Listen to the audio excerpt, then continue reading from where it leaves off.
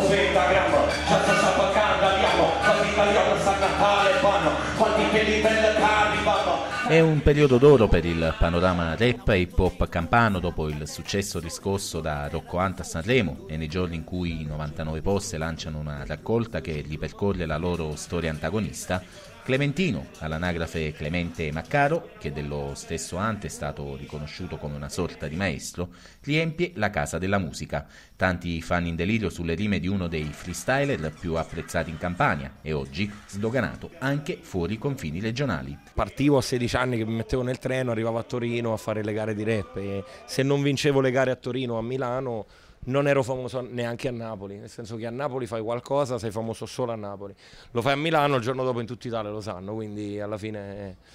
niente, un po' di talento, un po' di fortuna, molta fortuna, però io credo sempre che non basti solo la fortuna, devi andartela anche a prendere delle cose. Un successo enorme, volendo anche inaspettato, che il rapper sta provando a gestire nel migliore dei modi. Sì, è arrivato sicuramente piano piano, eh, nel senso che è iniziato tutto prima nei centri sociali, con le gare di freestyle, fino, fino, non so, fino a Giovanotti, a Pino Daniele, e lo gestisco sempre come mi hanno insegnato i miei, insomma, a mangiare eh, qualsiasi cosa ti mettono davanti, a,